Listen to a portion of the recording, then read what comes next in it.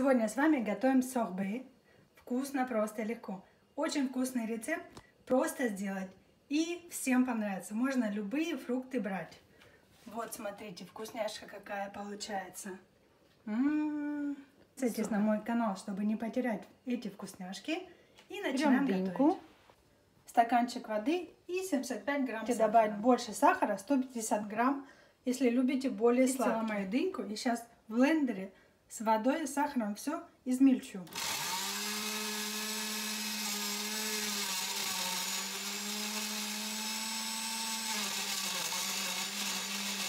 У меня есть машина, которая делает мороженое.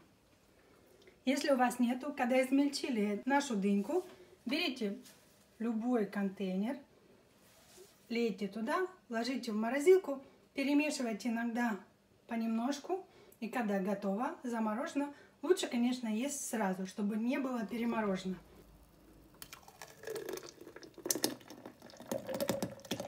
Переключаем машину, мороженое и час она работает, делает наши сорбе. Вот мое мороженое сорбе и готово с дыньки. Вкусное мороженое, я обалдела. Очень вкусно получилось, даже с водой, не с кремом. Я часто крем добавляю, а тут просто сорбы Получилось объедение. Готовьте этот рецептик 100% вкусно. Любые фрукты можно ложить.